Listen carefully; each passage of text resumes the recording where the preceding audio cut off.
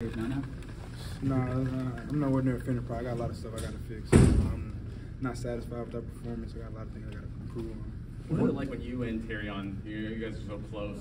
We both have a game like that together. Is that extra special for you? Yeah, you know, playing with your brother, you know, that's a special moment. And, uh, you know, I, I love, the, you know, the process that we've gone along together. And I love seeing him grow and love seeing him ball out. When you went down, uh, I think it was the first quarter. I mean, what, what happened there, and why were you able to come back so quick? Uh, just a, it was more trying to play for my teammates. You know, you know, there's a lot of game left, so they were trying to get it back on the field as much as fast as possible.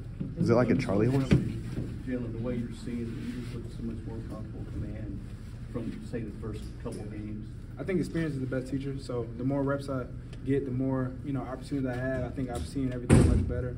Um, but then again, I gotta improve and get better because um, you know I'm not I'm not a finished product, so I, I still gotta learn and grow. So after a six touchdown performance, you're not pleased with your game today. No, I'm real frustrated. I got I got a lot of things I gotta fix and get better at. What was frustrating? Huh? What was frustrating? That you know missed a lot of couple things down the field, um, missed some balls um, that, that I shouldn't be missing.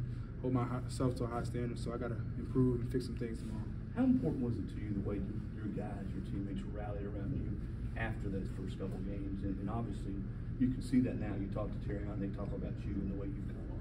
Yeah, when we talk about team, you know, that's the biggest thing here. Um, we talk about team, we, we, preach on that, and then we also talk about doing our job. But those guys, you know, I, I play for them.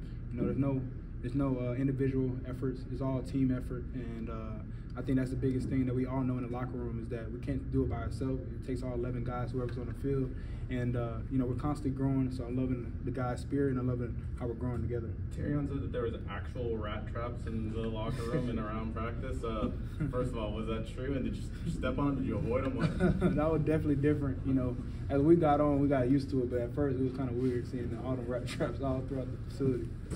So, so coach, coaches even said he knew there were a lot of naysayers out there back in week one, week two, and then the way you guys have worked and got to this. How, how pleasing and how satisfying is that for you guys to get to where you are yeah, right now? All motivation, all motivation for us. Because um, we knew there was going to be a long process. You know, when we set short-term goals, we start we set long-term goals, and they're all achievable. Um, but the biggest thing we have to acknowledge is that we have to do our job. We have to do our job, and we have to uh, focus on the task at hand. And not worrying about external factors, more worrying about things that's um, going to allow us to grow as a team. So I think that's the biggest thing for us.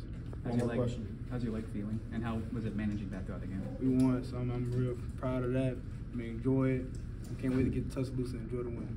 Thanks, Dylan. Appreciate it. Appreciate y'all.